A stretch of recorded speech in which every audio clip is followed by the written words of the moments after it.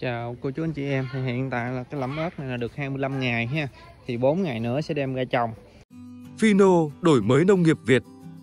Thì hiện tại với cái tình trạng cái ớt này á thì nó đang non mướt quá. Thì bên em sẽ sẽ tiến hành là xử lý uh,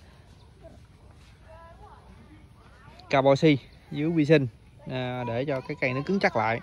Thì riêng về bản thân cái vi sinh á, thì nó ngừa bệnh rồi người thối cổ rễ héo cây con chết xanh. Thì carboxy làm cho nó cứng cây dày lá dày thành tế bào. Nó cứng chắc.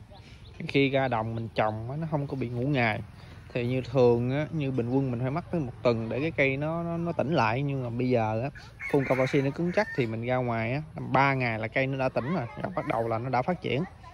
Đó. Thì cho nên là chúng em phải sử dụng carboxy nhưng mà lưu ý rằng là khi mà cái cây của mình nó thật sự là non mướt quá, mình mới sử dụng carboxy nha. Đây, để em đưa một cái cây mẫu cho ha.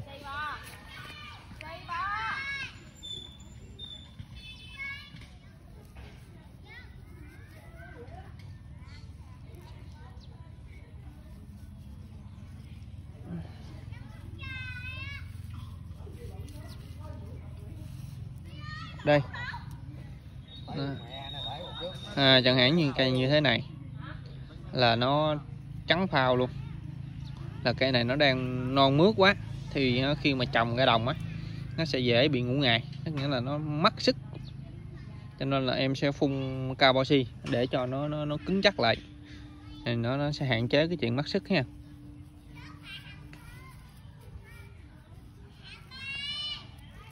ừ.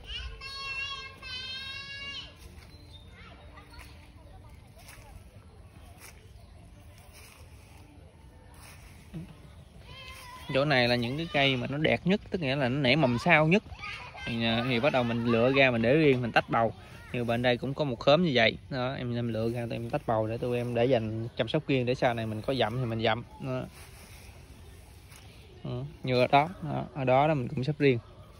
Thì dựa trên cái mật độ tỷ lệ nảy mầm này thì trước bên lúc mà tụi em dâm, em phỏng đoán là 90 nhưng mà tới khi mà điếm bầu ra là nó tới 95 phần trăm nảy mầm đó.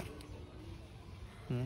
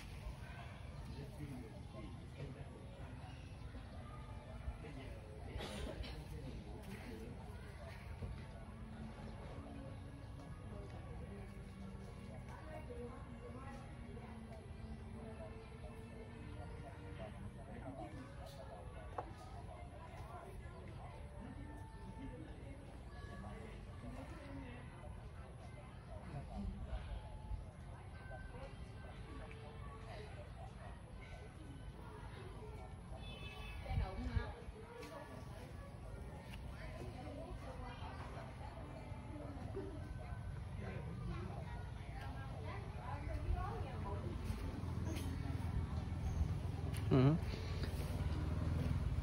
thì mình chờ trong ờ, cái giai đoạn ờ, chờ đợi thì ờ,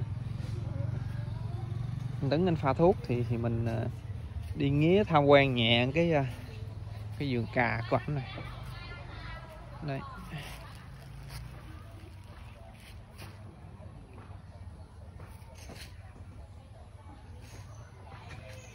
Đây là lẫm môn anh dâm để anh trồng.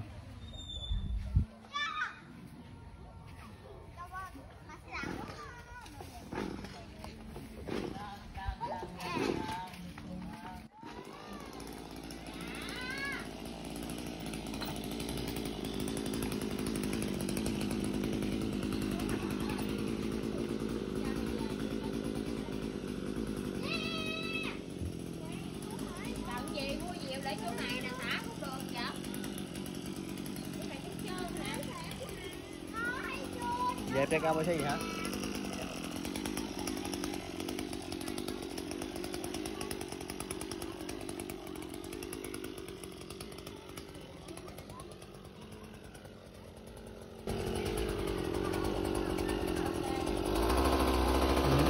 hiện tại là đang phun xì với vi sinh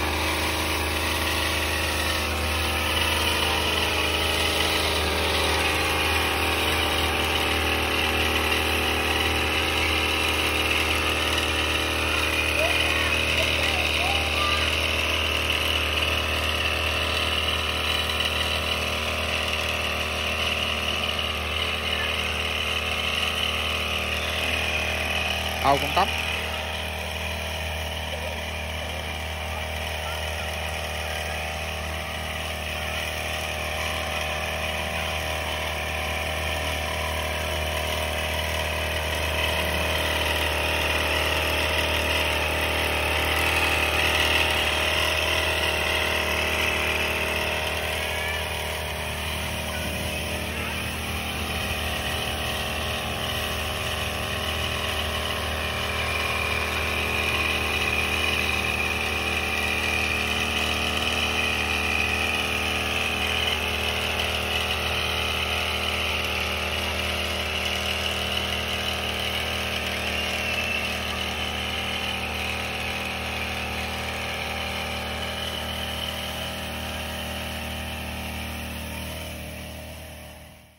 Để nhiều người nông dân được tiếp cận thông tin kỹ thuật mong anh chị hãy nhấn chia sẻ, đồng thời nhấn đăng ký để đón xem những video kế tiếp.